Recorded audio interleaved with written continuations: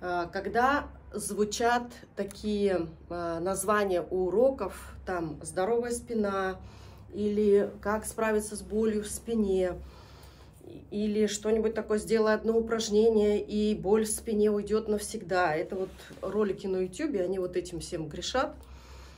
Значит, а, так, чтобы просто было у вас понимание. Никогда, во-первых, одним каким-то упражнением, даже самым классным, ты э, не снимешь причину. То есть упражнения работают симптоматично. Те упражнения, которые, например, э, за мой вот этот большой опыт работы с людьми, с болью, в пояснице, в шее, там, в грудном, тянет лопатку, не могу разогнуть э, колено, тянет где-то в области паха и отдает в поясницу. Ну, разные, в общем, э, эти симптомы у людей – и вот за, всю, за весь период, сколько я уже этим занимаюсь, во-первых, свою спину когда-то восстанавливала, да, нет одного упражнения, которое раз и навсегда там с причиной поработает. Поэтому, когда вы слышите или видите название вот таких уроков, вы должны понимать, что это чисто такие просто маркетинговые ходы, просто привлечь внимание. Теперь что работает? Работает э, полноценная тренировка работает полноценная тренировка. То есть, если мы хотим, чтобы у нас не болела спина, я сейчас обще говорю, ну вот где-то у вас какой-то дискомфорт, что-то вас постоянно беспокоит. Или шея, да, постоянное напряжение в шее. Или межлопаточное, вот что у меня было. У меня прям все время, знаете, такое было сковывание в области лопаток, как будто бы я постоянно ходила с мешком камней э, за спиной. Э, какой-то период времени вот э, такой был очень неприятные ощущения, постоянно присутствующие. И при этом я тренировалась, при этом я много чего делала, было много йоги разной. Но эта боль не уходила. И я вот сейчас вам буду говорить, когда не уходила боль. И даже я делала, ездила правки. На какой-то период времени этого хватало, потом боль опять возвращалась. Конечно, э, в первую очередь смотреть на положение всех костей тела. То есть это для нас в моменте, вот сейчас, если бы я с каждым из вас встречалась, и, например, у вас у кого-то какие-то ну, запросы по спине, по шее, там какие-то неприятные ощущения, у кого-то прям боль, у кого-то в ногу отдает. В первую очередь мы бы, конечно, посмотрели на положение таза, на длину ног, причем длину ног э, в положении лежа, стоя, сидя на коленях в разных проекциях. И это даже не так показательно, как, собственно, положение таза. И если положение таза э, в проекции вдоль, скажем так, и поперек есть э, изменение положения правой и левой стороны, я совсем просто сейчас говорю, да, то это говорит о том, что боли будут. Ну, потому что зафиксировано. Хотя уже опять-таки по моему опыту, есть люди, у которых диагностируешь визуально смещение таза, а спина у них не болит. Поэтому это тоже очень индивидуальная вещь. Поэтому если вот это вот все-все убрать и так свести к какому-то минимуму, то я буду говорить всегда о том, что если вы хотите, чтобы у вас где-то не болело, нужно э, заниматься комплексной тренировкой комплексная тренировка. А теперь то, про что, может быть, так вот явно где-то не звучит, но вскрывается э, при персональном общении. Я бы выделила такие неочевидные причины боли в спине, как первое. И потом э, в группе выложу картинку, чтобы вы еще посмотрели. Может быть, кто-то не знает название мышц, не знает, где они находятся. Картинку вам вот выложу. Так вот, слабая поперечная мышца живота, она влияет не только на состояние спины и на ощущение вашей, вот знаете, такой, ну, как стабильности в положении именно э, ходьбы, в положении тела стоя.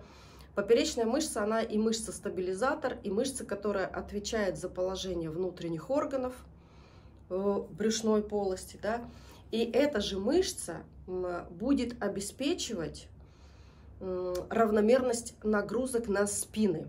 То есть, что бы мы с вами ни делали, да, если поперечная мышца живота слабая, то у человека, как правило, будет болеть поясница. Это вот одна из неочевидных про то, что, может быть, э, вы не слышали, не знали, или нигде вот так напрямую не говорят. Говорят там про мышцы кора, говорят, что может быть дисбаланс мышечный правой-левой стороны из-за этого боли.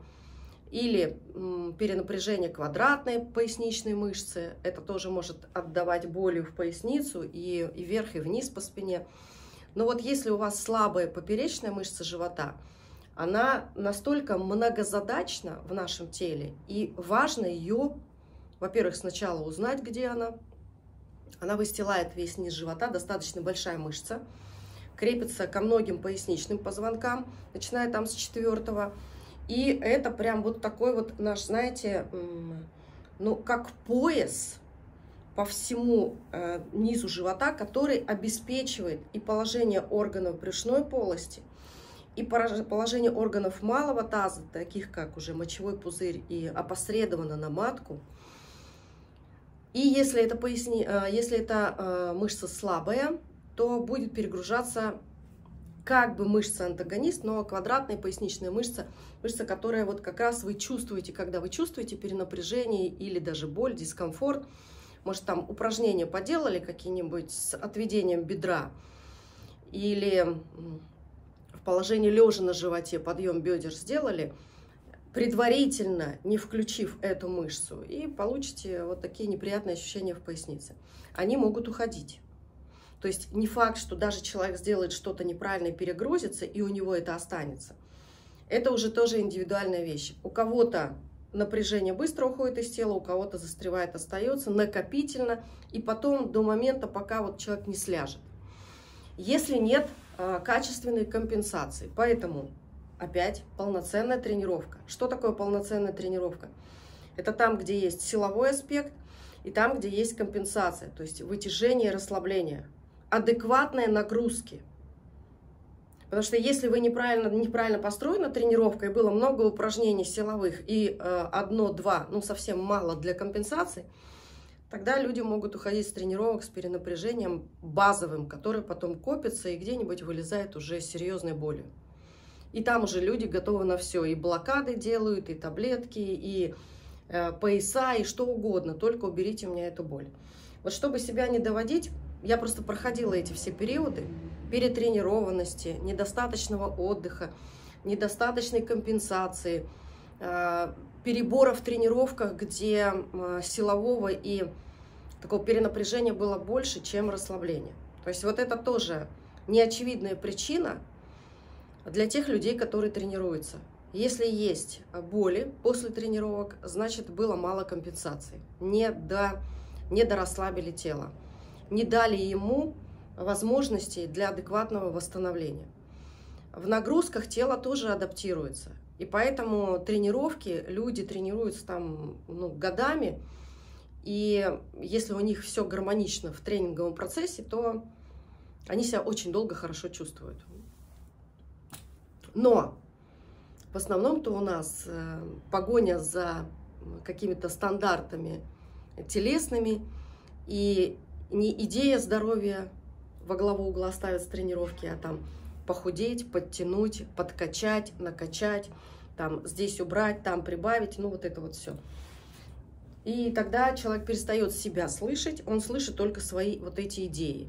И то они, ну, еще, может быть, и не его, да, много идей, которые мы думаем, что это мне надо, а на самом деле просто так работает инфополе.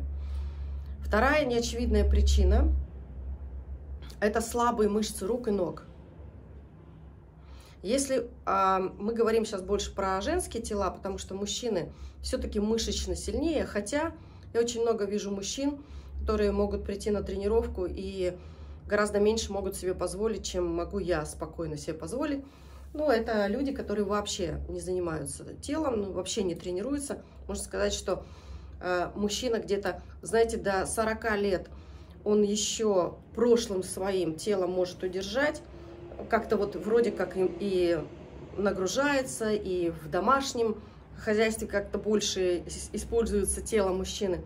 Поэтому он вроде как в тонусе, в тонусе, а потом очень резко съезжают э, все вот это в мужских телах, и они становятся такими же дряблыми, слабыми, И, ну, и понятно, что и эстетически это выглядит не очень.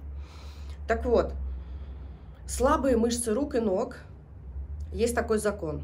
Если у вас слабые мышцы рук и ног, будет болеть спина. Почему? Потому что максимальное количество бытовых движений вы выполняете не за счет помощников ваших мышц ног и мышц рук, а за счет э, спины. Это мы уже будем, знаете как, э, относить к теме движения в быту, э, как и что вы выполняете, как вы берете предметы, как вы поднимаете детей, как передвигаете что-то, как носите сумки, как просто складываете даже вещи. Это я отнесу вот к четвертой причине, паттерны движения. Но если не тренированы мышцы рук, если ноги как-то еще у нас все-таки задействованы, потому что мы ходим, тот, кто ходит достаточно, можно сказать, что у этого человека с ногами, с мышцами ног все нормально. Если вы еще не ходите, если много э, на автомобиле, если много сидите, если в основном там это офисы и дома, да, то такого э, естественного движения мало, тогда, конечно, нужно тренироваться. И в тренировках давать акцент на мышцы ног. Если мышцы ног будут слабые, вам нечем носить это тело. И в пределе это как раз-таки вот то, что происходит с людьми после там 50-60. Вот знаете, как после 50 уже происходит у некоторых. А, и для меня это вообще дико звучит, когда человек там в 50-55 лет ограничен в движениях, не может стать на роликах покататься, не может на лыжах покататься, знаете, а, для него какие-то виды активности просто становятся недоступными. Это как раз-таки говорит о том, что старость пришла еще там в районе 35 лет. И человек с этим согласился. Так вот, слабые мышцы ног, а дальше слабые мышцы рук, это вообще грешат всем этим женщины. Слабые мышцы рук – это перегрузка спины, это перегрузка шеи, это перенапряжение все время в пояснице – потому что любое движение, связанное с перемещением предметов, ношением, вот, э, хватанием, удержанием, все это обеспечивают наши руки. И если руки слабые, то, конечно, по системе рычагов вы просто передаете это все в грудные мышцы, мышцы спины, трапеция, поэтому шея, да, шея в перенапряжении. Для этого, конечно, нужно делать специальные упражнения, разгружающие мышцы шеи и включающие в работу и в движение мышцы рук. Это все на тренировках. Поэтому, когда мне говорят, Алена, дайте комплекс для здоровья спины. Нет такого комплекса. Нет такого комплекса. Если вам где-то кто-то говорит, я раньше тоже так считала, что надо вот, чтобы спина не болела, сделать какие-то упражнения. Но опять-таки, чтобы вы просто меня правильно поняли, есть симптоматические упражнения – это когда у вас не острый период, но еще вот остаточные боли где-то есть, и вы можете через определенные упражнения разогнать там кровь, облегчить состояние за счет того, что кровообращение будет убирать отеки. Отеки – это воздействие барорецептора, они реагируют, поэтому человек чувствует боль. Вот только на этапе восстановления, вот была, был острый период, там что-то вы перележали или перелечились чем-то. Я уж не знаю из острого периода, кто как выбирается. Вот. Потому что сама, когда заходила в острый период, мне помогали только сильно действующие обезболивающие. Я э, поэтому не отрицаю, что если у человека прям совсем скрутило, и он двигаться не может, какие упражнения? Какие упражнения вообще? Чего за бред такой? В этом состоянии человеку может помочь только прям серьезная какая-то медикаментозная помощь, просто чтобы снять боль. Вопрос в том, как себя до таких состояний не доводить. И опять мы вернемся к тому, что тренировка, полноценная тренировка. Полноценная тренировка, где есть сила и компенсация, где есть ловкость и э, упражнения, которые разгружают суставы, где есть упражнения на баланс, координацию и где есть упражнения, которые снимают нагрузку с суставов. Вот только тогда можно говорить, что это функциональная тренировка, тело функциональное, оно не болит, оно много себе может чего позволить, и не в спине дело. Да? Смотрите, еще одна неочевидная причина, Почему нужно обязательно, много мы уделяем в тренировках вниманию а, мышцам рук и ног. Дальше. Э, еще одна неочевидная причина – это кишечник. Неочевидная причина боли в спине. Причем это может быть а, боли ирригирующие от кишечника и в грудопоясничном переходе. Там, где вот низ лопаток, вы чувствуете, что тянет, болит. И поясница. Большей частью, конечно, поясница. Почему? Потому что э, воспаление в кишечнике всегда сопровождаются отеками. Становится э, кишечник более тяжелый. А у нас брыжейки кишечника крепятся к... Есть места крепления к позвоночнику.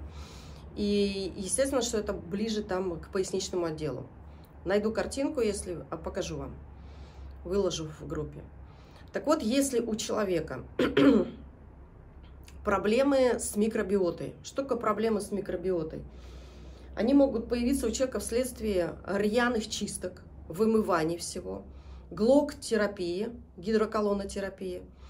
Когда мыли-мыли этот бедный кишечник, все пытались от него все всякие э, камни, э, глистов, их производные и так далее, все это вымыть. И полностью снесли всю микробиоту. Э, много сейчас говорят и пишут о том, что микробиота – это второй мозг, и правда, что там такая коммуникация – что очень много гормонов выделяется в кишечнике, тот же гормон там э, насыщения и так далее.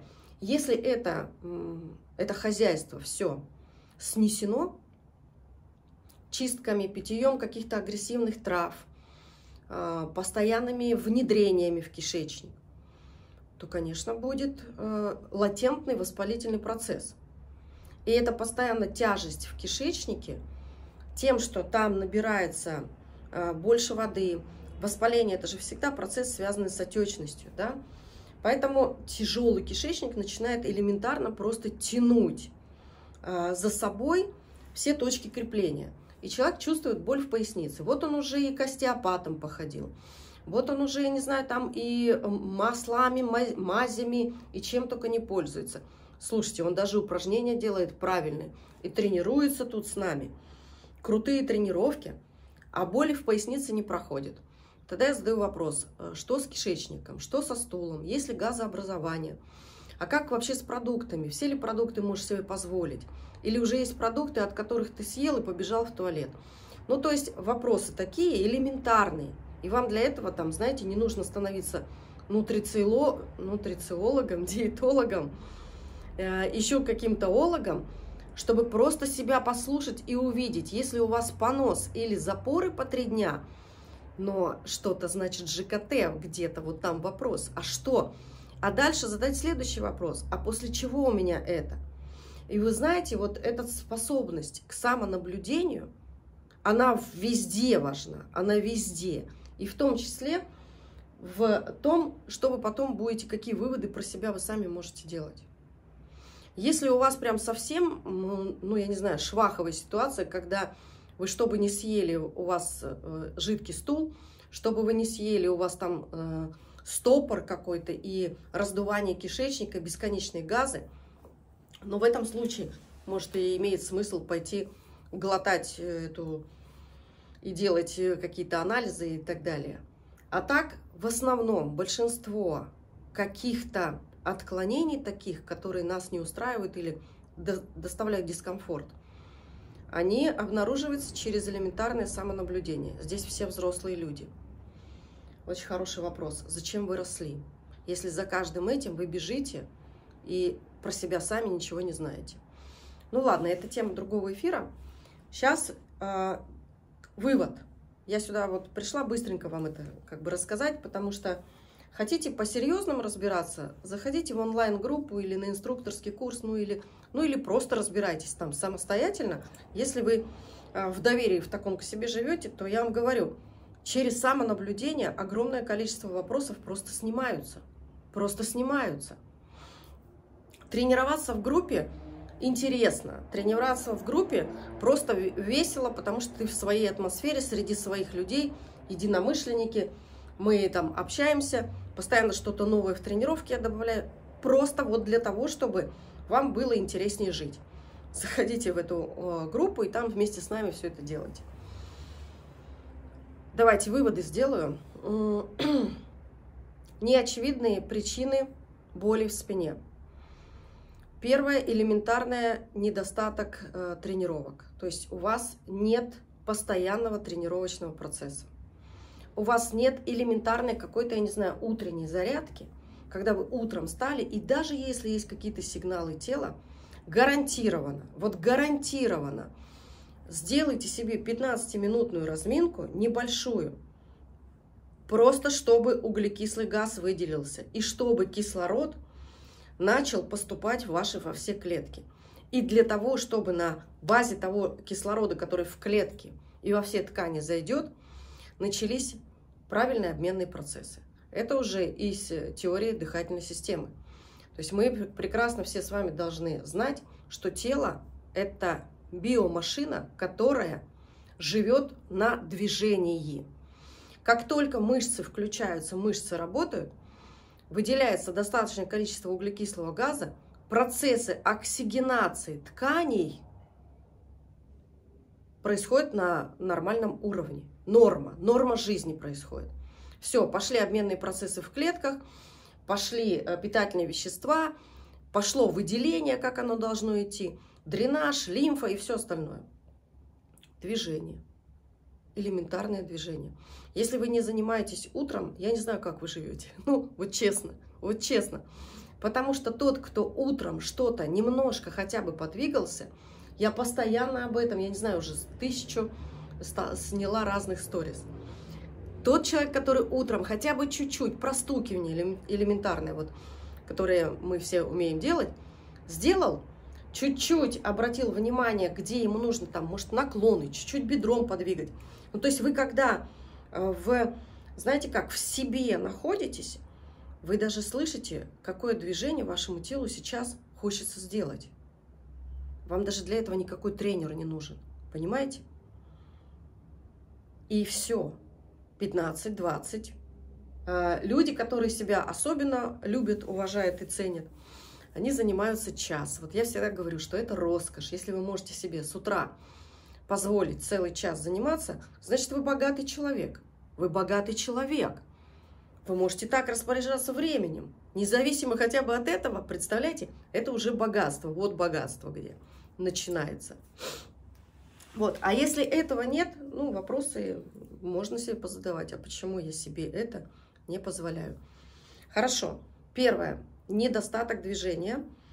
И если э, про движение говорить, второй фактор э, – агрессивное движение. То есть перебор с движением, это уже наоборот для тех людей, которые маятник в другую сторону у них качнулся, немножко крыша съехала, и они считают, что каждый день 3 часа, там, 2 часа, или, или если я сегодня не сходил в тренажерный зал, я лузер, все пропало, как, сдав, как жить вообще и так далее. Ну, то есть другая крайность, когда человек просто, ну, у него конкретно получается, что немножко подсъехала картинка его мира в сторону зависимости от того, как э, реально вот он выглядит, и он не понимает, что э, здесь конкретная зацикленность да, на теле. Перетренированность, она тоже будет вести к тому, что будет болеть. Я прошла такой период, когда была просто жесткая перетренированность.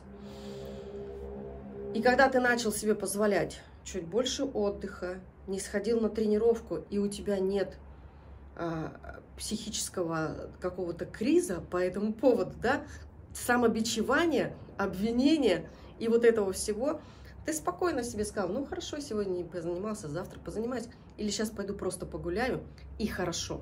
Понимаете? Вот, то есть этот фанатизм, кстати, йоги тоже этим болеют, каждый день заниматься йогой не нужно. Каждый день заниматься йогой не нужно, вы свободны от этого.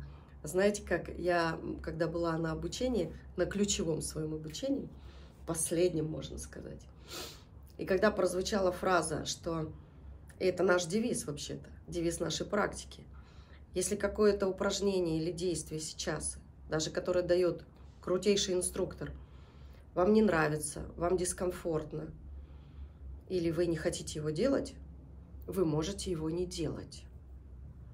Вот тогда у меня был такой просто инсайт, что оказывается даже в рамках классной тренировки я могу отдохнуть тогда, когда я считаю нужным, что мне нужно отдохнуть. Вот так занимаемся мы. Теперь следующая причина, на которую стоит обратить внимание, это состояние кишечника. То есть если есть вот эти сигнальчики, либо самостоятельно решить. Я, кстати, скоро в нашей группе, но к концу декабря готовлю сейчас там такую очень интересная будет э, лекция предложена всем участникам, как за счет семян, элементарных семян и специй, можно поддерживать очень хороший уровень э, микробиоты и иммунитета. Ну, вот такая вот будет вещь, которой я тоже сейчас присматриваюсь, потому что я очень-очень сейчас придирчиво выбираю, о чем вообще с людьми разговаривать и что в своей группе презентовать как действительно работающие какие-то эффективные методы. Кишечник и а, поперечная мышца живота. Поперечная мышца живота обязательно должна быть. Она у всех есть, просто она у, у многих людей слабая. Мы сейчас с вами сделаем два упражнения, как раз таки как просто снять симптоматику. Еще раз. Если где-то болит, тянет, э, свело или еще что-то, симптоматические упражнения работают, правда работают. Есть у меня тоже люди, которые мне говорят, Алена, из всей практики у меня есть два упражнения, которые я, когда сводит или где-то дискомфорт чувствую, сажусь, делаю и все. И для этого тела это упражнение действительно работает как таблетку выпить. Вот он сделал упражнение, его отпустило. Вот, это тоже вы будете выбирать. Но когда вы, сможете выбирать? Тогда, когда вы занимаетесь, когда вы себя слышите, чувствуете, и тогда вы из всего комплекса упражнений говорите, о, вот это упражнение мое, и я его перед сном делаю, и все, и все напряжение со спины уходит, и я классно сплю, например, да? Поперечная мышца живота и тренировать рычаги, руки и ноги. Обязательно, обязательно. Особенно если вы э, человек, скажем так, 60 плюс, без силовых тренировок, просто очень быстрая старость. Просто очень быстро начнет дряхлеть тело. Силовые тренировки обязательны людям после 60 лет. Ну, там много чего еще, э, хорошо бы добавить. Но это вот то, что сейчас я хотела сказать. Окей, э, кто будет делать упражнения, пожалуйста, на коврике, ложимся на спины. Я буду сначала вы говорить, может быть, даже показывать не буду, попробуйте сделать все на слух. Значит, вы укладываетесь на спины, ноги сгибаете в коленях. Нам с вами сейчас, здесь есть, конечно, люди, которые со мной занимаются, есть наши инструктора, там вообще все понятно, я думаю, э, те, кто не занимался со мной, и те, кто, может быть, там ну, очень мало где-то пересекались мы, может, вообще первый раз меня видите. Значит, вы укладываетесь на спины, сгибаете ноги в коленях. Просто когда я лягу, будет не так хорошо слышно. Я сейчас озвучу, что делаем. Все, кто сейчас здесь и могут лечь на коврик, пожалуйста, укладывайтесь. Вот вы легли, и нужно сначала разложить тело, расслабить плечи, почувствовать, вот, что лопатки, плотно опускаются на коврик. И в положении лежа на спине с согнутыми коленями. Послушайте, пожалуйста, ощущения в пояснице, в пояснице сейчас. Очень хорошо будет для тех, у кого есть сигналы, у кого есть дискомфорт в пояснице, вы прям, скорее всего, почувствуете эффект от этого действия, которое сейчас будем делать.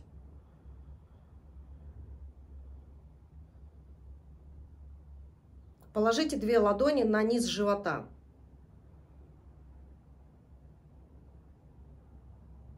Кстати, когда мы работаем с поперечной мышцей живота, мы воздействуем на кишечник. И если есть склонность, например, к запорам, то это очень хорошо. Упражнения, которые, в которых участвует активно поперечная мышца живота, это такой внутренний массаж тонкого кишечника. И если есть застои, то, скорее всего, будет налаживаться у вас стул потому что это вот такое естественное механическое воздействие за счет, называется это висцерально-моторное воздействие. То есть висцера – это э, внутренние органы, моторное – это моторное действие мышц. Когда мы мышцы сокращаем, вот сейчас лежа, спокойно, лицо, плечи, шея, все расслаблено. Э, попробуйте сократить поперечную мышцу живота. Что значит ее сократить? Сокращение – это укорочение мышцы. Это значит волокна, укорачиваясь, идут навстречу друг другу, сокращаются, укорачиваются, да? Укорачивается волокно, и вы под ладонями прям будете чувствовать, как э, ткани живота подтягиваются внутрь. Очень важно, если вы понимаете и чувствуете работу мышц, то при сокращении поперечной мышцы живота у вас не будет распирания то есть у вас не будет надувания живота, а у вас именно должно произойти такое подтягивание. Вот как будто вы взяли широкий пояс и по низу живота его затянули. Вот такое же ощущение будет при сокращении поперечной мышцы живота.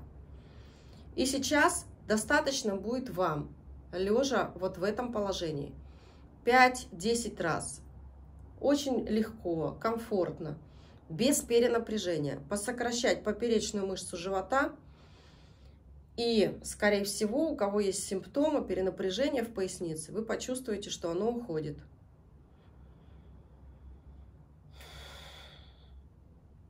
Не уйдет, если, а, ну, если есть очень сильное напряжение квадратной поясничной мышцы. Там нужно еще пару упражнений добавить перед этим. Я вам сейчас даю только примеры. Вот пример. И точно так же это, это же движение является и упражнение по укреплению поперечной мышцы живота. Просто знаете, когда вы делаете какие-то упражнения уже в движении, я говорю, подтяните или сократите поперечную мышцу живота. Люди, которые понимают это, им легко сделать. Человек, который никогда не слышал, не чувствовал эту мышцу, он потеряется, что это, где это и как это. Поэтому мы в положении лежа на спине сейчас просто можно сказать, что знакомимся со своими мышцами.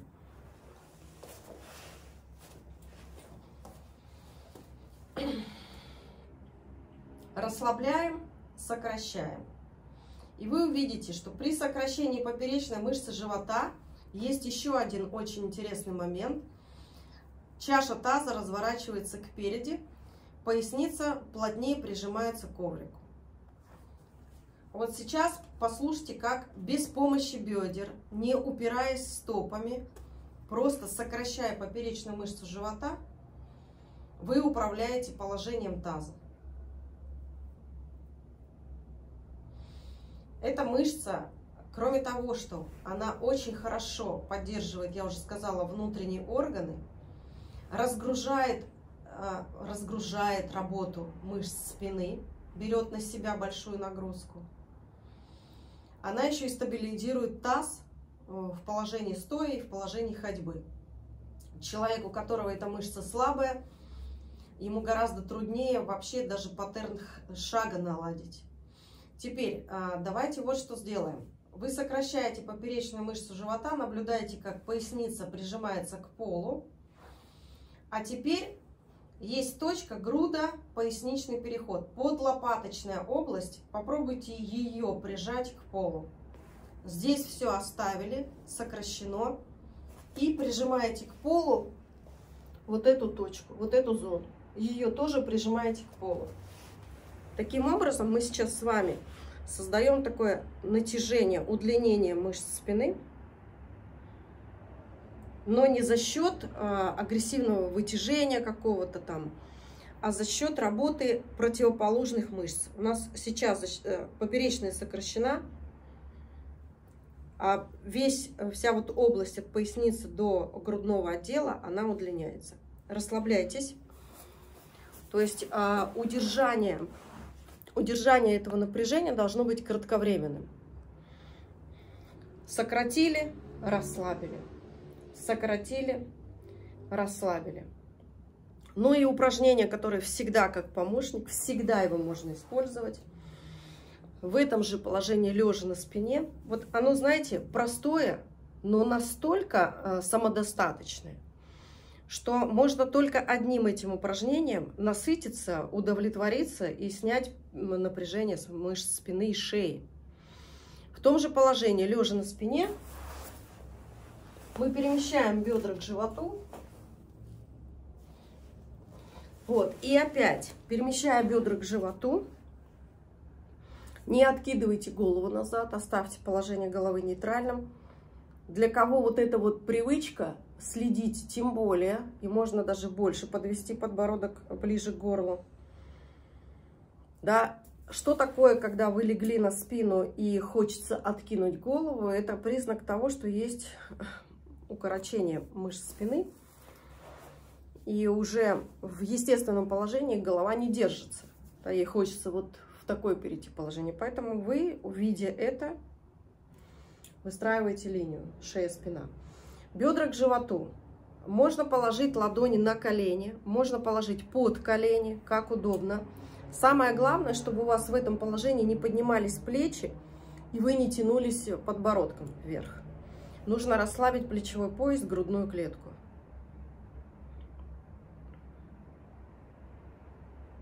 И в этом положении, когда бедра приведены к животу, грудной клетке, мы уже здесь, управляя вниманием, просто направляем вдох в пространство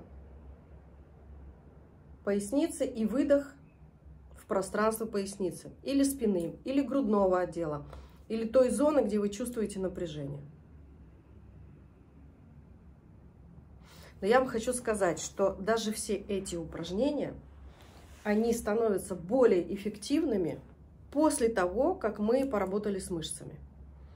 Поработали с мышцами, тогда компенсаторные упражнения, эффективность их выше. Вот. Если у вас какие-то вопросы сейчас, я не планировала давать там полноценную тренировку и даже тренировку там направленную на, на что-то, мне хотелось немножко ваше внимание просто правильно направить. Куда смотреть? Если у нас э, коленные суставы болят, и вы не можете садиться, если это тазобедренные суставы, вы чувствуете, что вы прошли немножко, и у вас там тянет в бедре, не можете позволить себе долго ходить. Или гуляете-гуляете, начинает там шею сводить, тянет шею и плечи, и дискомфорт. И вы постоянно или сидите, сидите, и начинает тянуть где-то симптоматично работать с какой-то частью тела бессмысленно, бессмысленно. Дайте упражнения для рук, говорят, или дайте упражнения для шеи. Да бессмысленно работать шеей отдельно, если вы не поработали с ягодицами. Да, или, например, вы не можете приседать, но дайте мне упражнения для шеи. Вот давайте мы с вами выводом сегодняшней встречи, я хочу, чтобы у вас закрепилось. Когда у вас болит большой палец правой стопы, надо тренировать все тело. Когда у вас головная боль, нужно заниматься хотя бы микротренировки по 15-20 минут, но чтобы работали мышцы всего тела, дренажные системы, чтобы суставы нагружались адекватно, чтобы синовиальная жидкость в суставах вырабатывалась и суставы ваши не старели. А это происходит только в движениях. Вот понимаете как? А единственный и самый главный мой посыл к вам. Начните двигаться. Хоть на танцы, хоть куда. Но когда приходят ко мне люди, танцоры, это люди, у которых столько в теле перенапряжения, что там не знаешь, с какой стороны вообще э, браться. А с какой стороны не берись, все равно нужно э, заниматься. Просто видите как?